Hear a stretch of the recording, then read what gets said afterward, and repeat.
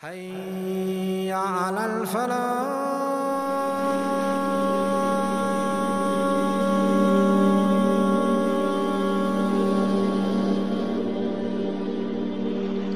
The Prophet said أبو بكر في الجنة عمر في الجنة عثمان في الجنة علي في الجنة وطلحة في الجنة Talha made a pact with Allah and he was truthful to that and Allah kept his side of the bargain and he is one of the people of Jannah. He went on a journey to Basra and he had some lands in Basra and he was doing some tijara in Basra and he came upon a rahib, a monk. And the monk mentioned to him that a man would come from amongst them and that he would be the Nabi of Allah and that his time is close and that he will take refuge in the place which is identified as having Harra, volcanic area. That is in that area, date palms. And my little son, or you young man, do not let others beat you to him, meaning don't let them overtake you to accepting him. He is a truthful messenger. So Talha ibn Ubaidillah says, as crucial as the business deals were, and as much as I wanted to make money, I decided to gather my camels and to start going back to Mecca. When he arrived in Mecca and he met his family, he asked them a question. Has something big happened in Mecca whilst I was away? They told him, yes, that Muhammad ibn Abdullah has turned away from the religion of his forefathers. And that Muhammad ibn Abdullah is now claiming to be a person whom revelation comes to. And he says you should worship your creator alone and forget about all these idols. And of course, every single person in Mecca is speaking about him. The people know him as the trustworthy, the truthful. And everybody's saying, Muhammad proclaims to be a prophet. When I heard about it, I said to myself, I'm not going to leave the religion of my forefathers. He can predict, he can say whatever he wants. Some days after that, someone was knocking at his door. Who's there? It has to be only one man. You would always see him going from home to home, running from person to person, making list of those people who can understand the message, always thinking of those who can embrace this message of Islam, who are looking for the truth. And that is Abu Bakr as-Siddiq radiyallahu anhu. And here Abu Bakr is knocking at his door. Talha, I would like to talk to you for a few minutes. He welcomed him sat with him for some time. And Abu Bakr radiallahu anhu started conveying the message of Islam. Talking about Rasulullah sallallahu alayhi wasallam. About a need for having a messenger of Allah. About a need of getting the instructions of how to live from Allah subhanahu wa ta'ala instead of getting it from anyone else. It was so convincing that before Abu Bakr radiallahu anhu left the house, Talha had decided that he would like to go to Rasulullah sallallahu alayhi wasallam and take the Shahada. And so he did. And he became Muslim. Who embraced Islam at his young age. And at that age, one of the wealthiest people in Makkah Mukarramah. and known to be a very generous person and a person who was known to be in the days of Jahiliyyah was known to be a self-sufficient person who would always be working, doing a hard work and everything he would do it for himself and everyone would know that this person is totally independent and whatever he says he does it and he gets it. Many of the people say that the first people to accept Islam were the people who were poor and they had no status. This is incorrect. In fact, the first 20 something people that accepted Islam, they were amongst the wealthiest and noblest people of Mecca. These were the cream of Mecca that accepted Islam. And Talha was one of them. So, of course, Talha, when he accepted Islam, he met with what other companions also met with. Because taking the Shahada, believing in the oneness of Allah subhanahu wa ta'ala, was the greatest crime in that land. He told his people that he had accepted Islam. No sooner had they heard that he accepted Islam than they tried to harm him. In fact, his own mother, her name was As-Sa'bah bint al-Hadrami. She was a very difficult woman. She was hoping that Talha would be from amongst the leaders of Quraysh because he was intelligent and he was wealthy at a young age. So she had a lot of hope. But when he accepted Islam, she was so angry and so upset that she began not only to swear him and to use abusive words against him, but she told others to beat him up. So from amongst them was Nawfal ibn Khuwaylid. He troubled Talha ibn Ubaidillah and a few of the early Muslims a lot, beating him and telling him that you'd better leave the religion of Muhammad. How dare you follow this faith? But he was so strong. He had heard in Busra what the monk had to say, and he kept on uh, sticking to his beliefs, and they kept on harming him. May Allah subhanahu wa ta'ala safeguard us all. When Rasulullah sallallahu alayhi wa sallam allowed Sahaba ridwanullahi alayhim ajma'een to migrate to Medina Munawwara, Talha radiyallahu anhu was one of the last people because he wanted to remain in Makkah Mukarramah with Rasulullah sallallahu alayhi wa sallam. Therefore, he migrated only after Rasulullah sallallahu alayhi wa sallam. But when it comes to Talha, Talha has some very important instances in his life. The first instance is the battles that Talha participated in. Talha didn't participate in the Battle of Badr. Why? Even though he was from the Sabiqeen al Awwaleen. But he didn't participate in the Battle of Badr because the Prophet sent him on an errand. He says that he was sent to bring news of the caravan of Abu Sufyan. And so they pursued the caravan until it arrived in Mecca. By the time they returned, the battle was already over. And for this, Talha really reprimanded himself that he didn't get the opportunity to be with the Prophet in the first battle. And the Battle of Badr was something very big. Anybody who participated in the Battle of Badr was the best of the companions the very best. He wants to be among the best. He's missed opportunity for the battle of Badr.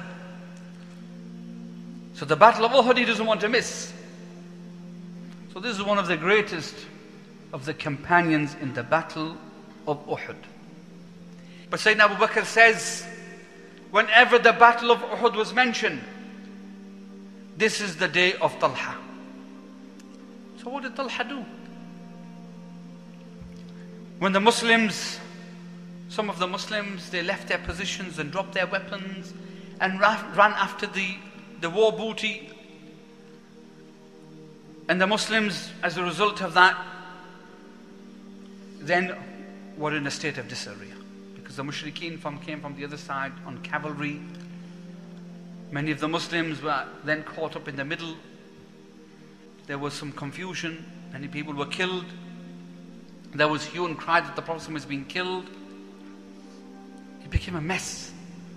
Talha, in this time, came to the Prophet ﷺ who was surrounded.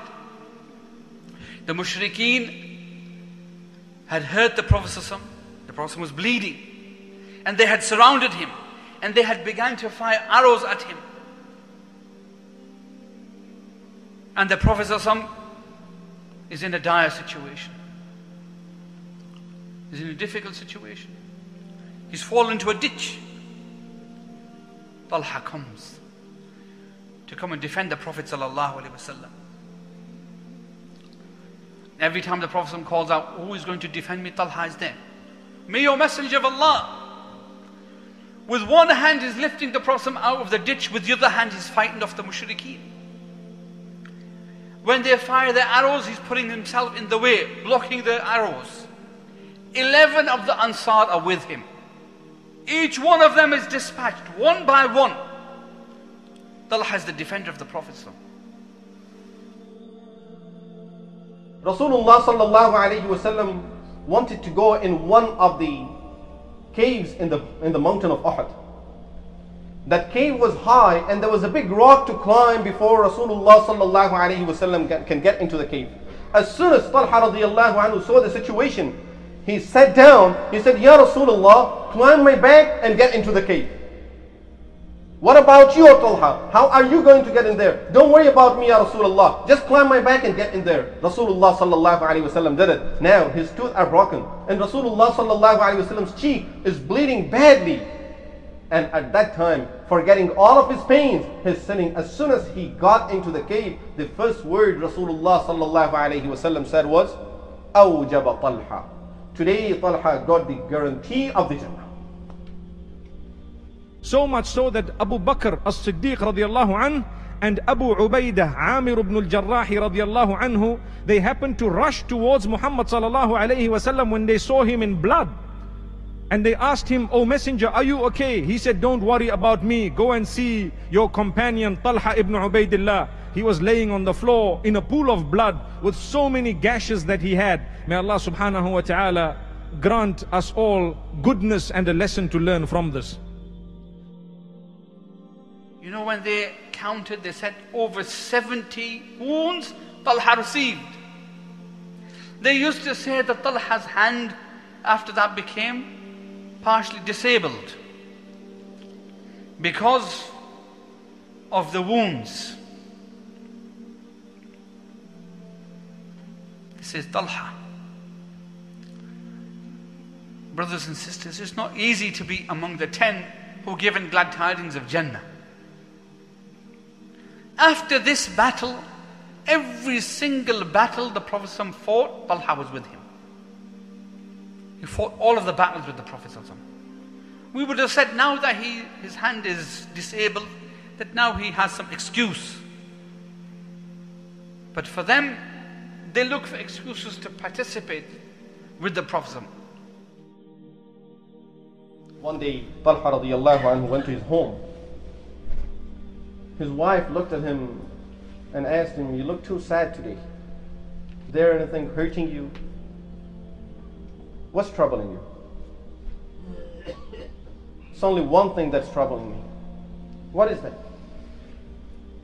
I have gathered so much wealth.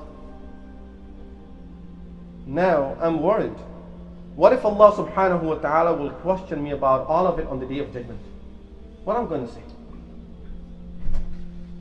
So right away without giving it a second thought, she said, Why don't you spend it in the path of Allah? We don't need none of that. I don't need nothing, my needs are fulfilled. Why don't you spend all of that in the path of Allah subhanahu wa ta'ala?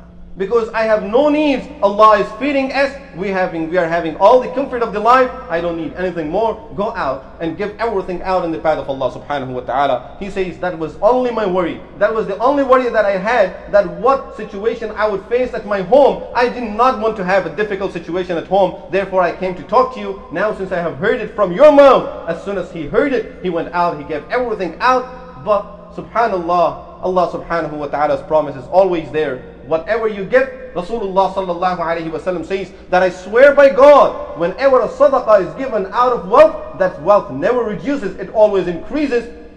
In no days, in few days, again he started having so much, and this is why he was known as Talhatul Khayr, who is always good. Whenever he sees someone, he wants to give something. He always wants to give out his wealth, and always, whenever he meets someone, there is someone that something that he carries with him. Here, I have something for you.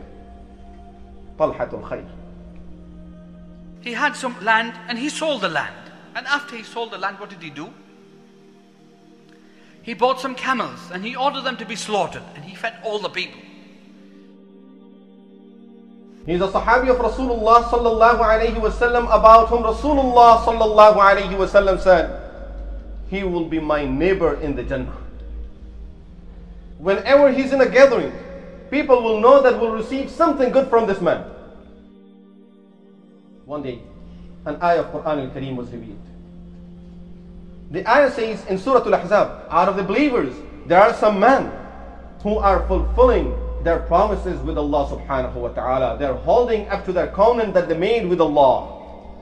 Some of them have fulfilled their promise and some of them are waiting. Sahaba Ridwanullahi ajma'een were afraid to ask Rasulullah sallallahu alayhi wasallam, Ya Rasulullah, who are these people about whom Allah says that they are still alive? But they were afraid to ask. Once a villager came to Medina Munawwara, they, said to that villager, Why don't you ask Rasulullah sallallahu alayhi wasallam about this ayah? And who are those people? He did not reply. He asked again, and he asked for the third time, and Rasulullah sallallahu alayhi wasallam did not reply. So Sahaba knew he doesn't want to tell no names. As the gathering was still continued, Talha radiallahu anhu entered into the masjid. Rasulullah sallallahu alayhi wasallam said to that villager, Look at that man that's entering the masjid at this time. He is the person that Allah is referring into this ayah. Fulfilled his obligation towards the deen of Allah. Subhanallah. What a degree. What a degree in Quran al-Kareem from Allah subhanahu wa ta'ala.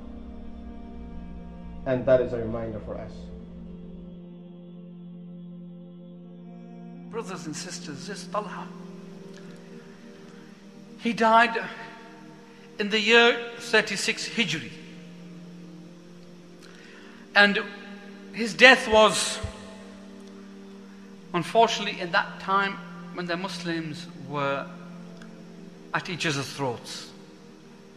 The death of Uthman radiallahu in fact, the murder of Uthman radiallahu. The beginning of the fitna the fitna that a lot of the companions said that this was the beginning of the fitna and now after this there is no end to it until Isa salam comes and kills the Dajjal. This fitna now will continue. So at that time when Uthman was murdered and after his murder there were a group of the Muslims who said we want those people who murdered Uthman brought to justice. And there were others who also loved Uthman. But they were saying, look, at this moment in time, the Muslims are in disarray. We have to now bring this chaos into some sort of order. And then after that, we will seek revenge for Uthman. Because they all loved Uthman. Why did they love Uthman? Because the Prophet loved Uthman. And it led to two great armies and a battle. As a result of this battle, a lot of Muslims died. From amongst the people who was in that battle was Talha. Talha came to the battle. And he was amongst those people who wanted the blood of Uthman to be he avenged. So he came to the battle and he sided with those people. And then he met Sayyidina Ali radiallahu anhu. And Sayyidina Ali spoke to him and said to him, Do you not remember what the Prophet said about me? When he told him, he remembered. So he left the battlefield. He's leaving the battle. He's not raising his weapons to fight anybody. Marwan ibn Hakam fired an arrow. And the arrow hit Talha in his knee. And as a result of that, Talha died. That was the death of Talha radiallahu anhu. How old was he? 64 years old. Brothers and sisters, Sayyidina Ali came out of the battlefield and he found Talha lying dead in the dirt. So he took him and he wiped the dirt from his face. And then he says that the Prophet told me that my neighbor in Jannah is Talha. Who were the children of Talha? What were their names? Yahya and Musa and Isa. Who was the wife of Talha? Umm Kulthum, the daughter of Sayyidina Abu Bakr.